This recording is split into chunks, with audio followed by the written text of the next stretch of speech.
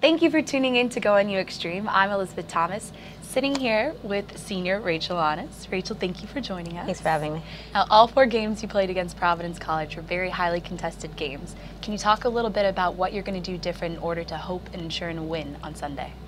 Um, playing against Providence is always a big thing. I think uh, both our teams are very similar, especially with uh, speed. They can keep up with us, and they have kind of the same game plan as we do. And um, what we need to do is stick to our game plan and play at our speed and um, take them off their game plan. So to prepare for them, of course, we're, we're preparing for BU, but um, for Providence, we're just going to focus on our, our strengths in practice and hopefully just execute in the game.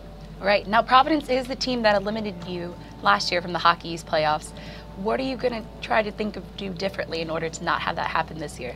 Uh, that's a thing I've been thinking about since last season. It's it's eating me up inside, and it makes me look forward to these type of games. But um, it's just going to give us a little more drive, I know, because they outplayed us in the playoffs last year, and we thought we had it made for us, especially with that bye week.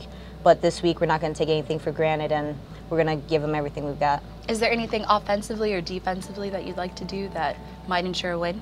Uh, we're working on defensive zone a lot, especially because our last couple of games we've struggled in defensive zone, especially in the third period. So we're going to make sure to help out Chloe and um, just play from the goal line out. And as you know, the Beanpot's a big deal. You being a senior, you've already won a couple so far here at your time at Northeastern. What would it mean, though, to be a senior and have this your last year being a student athlete to win again? It'd mean everything. Last year when we won it, it, it was just an unbelievable feeling, and I'd love to have it and go out on a high note as a senior, just to have that Beanpot and raise it again.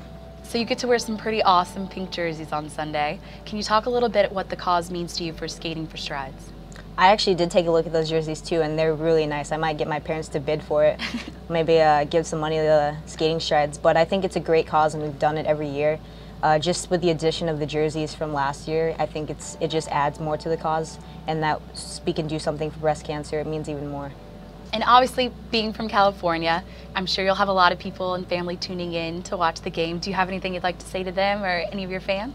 Um, I'd like to thank everyone who supported women's hockey, especially these past four years, and uh, keep supporting because it's only getting bigger. Thank you for tuning in to Go NU Extreme. I'm Elizabeth Thomas, and thank you, Rachel, Thanks and good luck. Thank you.